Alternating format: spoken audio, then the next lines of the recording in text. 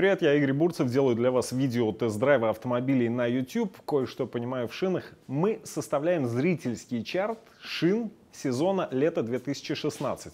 Ваша активность, интерес к шинам, просмотры, поставленные лайки, оставленные внизу комменты, все повлияет на расстановку шин в чарте и на то, кто из зрителей, ну то есть из вас, э, получит нехилые призы от партнеров всей этой затеи.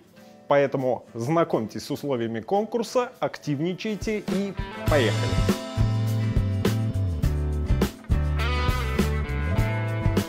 Сегодня я знакомлю вас с колесом Michelin Energy XM2.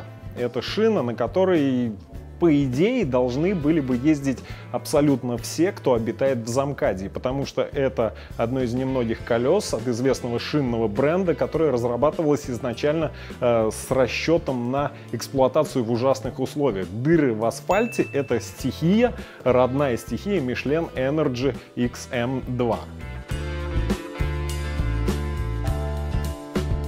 Вы, конечно, могли бы возразить, что конкретно для вашего города лучшим решением были бы танковые катки, но у них есть как минимум два минуса. Во-первых, они тяжелые, это увеличивает расход топлива ну, танка, и во-вторых, они некомфортные, потому что очень жесткие. Michelin Energy XM2 в своей конструкции учитывает изящно, решает обе эти проблемы. Это колесо, во-первых, очень прочное, во-вторых, очень легкое, и в-третьих, в-третьих, оно еще и мягкое.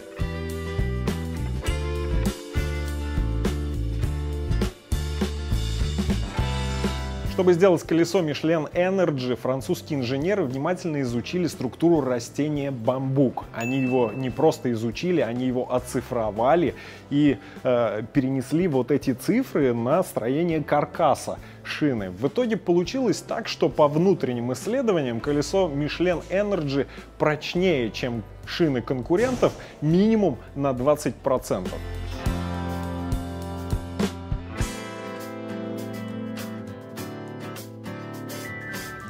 Что с протектором? Он с виду простоват и даже слегка скучноват. Три продольные канавки, тонкие дугообразные ламели.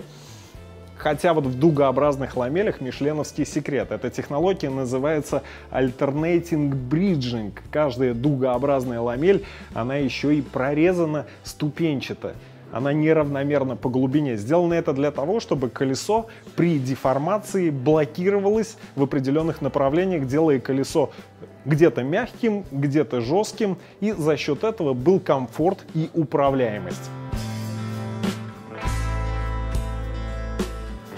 Дугообразные ламели Alternating Bridging позволяют колесу еще и равномерно истираться, то есть оно прослужит дольше.